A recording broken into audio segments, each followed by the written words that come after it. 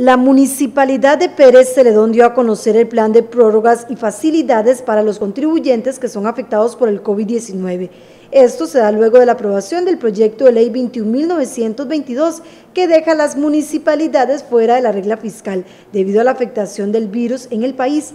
El beneficio es para todos los patentados en la categoría B, con actividades relacionadas con bares, salones de baile y tabernas, tendrían una prórroga en las cuotas trimestrales de marzo a junio. Podrán pagarlas en septiembre de este año. Eso sí, para acceder tienen que estar al día en el primer trimestre. La moratoria básicamente es comprobar que por parte de ese comercio categorizado en esa categoría eh, B como tal, valga la redundancia, pues eh, tuvo una afectación por COVID, el cual pues adjunta uno de los documentos, sea la declaratoria del IVA, sea una declaración jurada, en el cual pues ahí los requisitos están muy claros, muy concretos y muy sencillos para que sean este, aprovechados. Nosotros prácticamente en escritorio, en el momento de ser presentados, aprobamos eso y con lo cual lo que hacemos es retardar el pago respectivo de esos periodos. En el caso de los contribuyentes de recolección de basura, aseo de vías y mantenimiento de parques, la prórroga para los trimestres de marzo y junio igualmente se pagarían en septiembre. En este caso tienen que estar al día hasta el último trimestre del año anterior. Mientras tanto, para los inquilinos de los locales del mercado municipal y terminal de autobuses, además de los usuarios de los andenes de la terminal de buses, se dio para las mensualidades de marzo-agosto para cancelarlas hasta septiembre.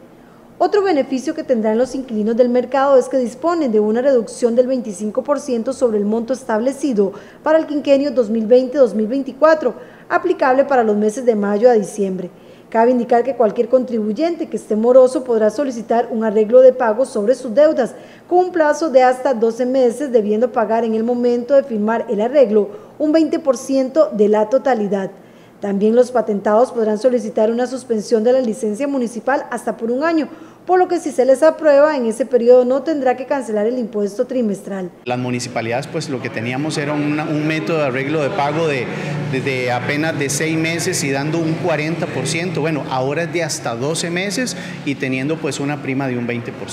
Básicamente eh, esos son los dos aspectos más importantes, el hecho de prolongar eh, o prorrogar, eh, hacer la moratoria en los trimestres respectivos, así como también lo que es la variación en los arreglos de pago que eh, para efectos nuestros y viendo un poco pues la estructura de los patentados nuestros definitivamente será de mucho beneficio. Las personas quienes tienen que cumplir algunos requisitos según el tipo de negocio y las disposiciones. Eh, en esto recordar, bueno, que la información detallada la vamos a tener en nuestra página web, en nuestras redes sociales, a los teléfonos que están disponibles y en forma presencial en nuestra municipalidad. Para mayor información pueden ingresar a la página web perezeleon.gov.cr.